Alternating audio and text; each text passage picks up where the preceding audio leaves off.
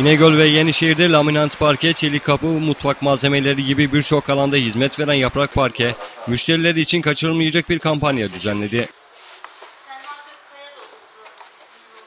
Doldurduğunuzda bırakırsınız. Olur. 300 lira ve üzeri alışverişlerde verilen hediye kuponları ile 0 kilometre bir otomobil yapılacak çekilişle talihlisini bulunacak.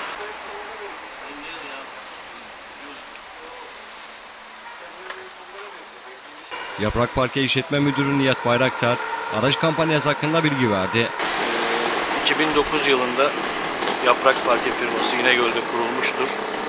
İnegöl halkına en iyi, en kaliteliyi, en ucuza verme sözü vermiştir.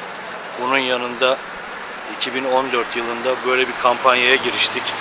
9 Haziran 2014 tarihinde başlayıp 31 Ekim 2014 tarihinde bitecek olan kampanyamız 300 TL alışveriş yapana bir hediye çeki veriyoruz. Bu çekiliş esnasında e, 15 Kasım 2014 tarihinde de Sani Konukoğlu Camii'nde noter huzurunda ve Milli Piyango İdaresi'nde olan bu kampanyamız çekilişte sona erecektir inşallah.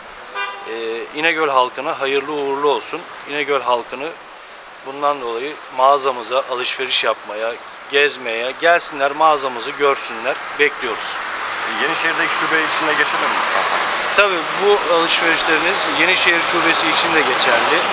İnegöl Şubesi için de geçerli. Bursa civarında il, ilçe fark etmez her yerden geçerli. Her yaprak parke mağazasından yapılan alışverişler için geçerlidir. Öte yandan yapılan kampanya müşterileri de memnun ediyor. Bir kere Yaprak Park'ın e, çalışma e, koşullarını beğeniyoruz. İnegöl'e bir yenilik getirdiler. Parkede sınır tanımadılar, renkte, desende. Yurt dışına da duyuyoruz. Büyük bir başarıları var.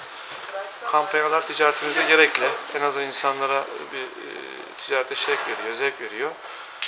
E, başarıların devamını diliyoruz.